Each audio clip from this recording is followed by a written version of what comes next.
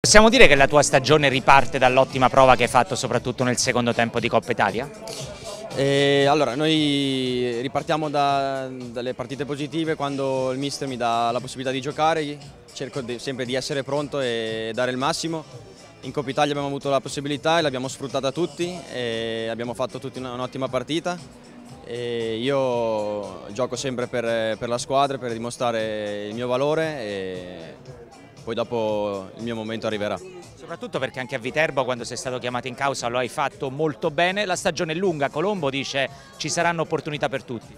Sì, sì, no, eh, dopo io il mio compito è mettermi a disposizione del mister, della squadra, andare sempre forte, allenarmi e farmi trovare pronto quando avrò le mie, le mie possibilità. Adesso c'è da cambiare marcia in casa, sei d'accordo? Anche se finora il calendario non vi ha tanto aiutato perché avete affrontato ad esempio il Crotone.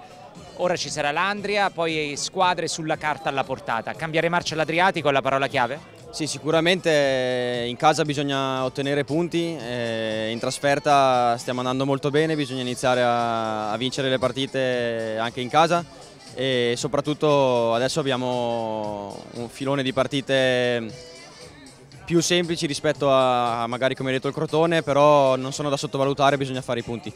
Tutto per te non era facile dopo l'infortunio rimetterti a disposizione al 100%, la sensazione è che ora sei a posto fisicamente. Sì, sì, sì, no, ho lavorato tanto sia quest'estate quando sono stato infortunato per farmi trovare pronto al ritiro e adesso mi sento al 100%, non ho nessun problema e spero di continuare così. Sei arrivato da terzino sinistro, l'infortunio di Pellacani ha costretto un po' Colombo anche ad adattarti al centro della difesa. Come ti trovi? No, mi trovo bene perché io in passato l'ho sempre fatto, più nella difesa a 3 giocavo terzo di sinistra, però è un ruolo che ho fatto anche nelle giovanili e quindi mi trovo bene, sia centrale che terzino non c'è differenza.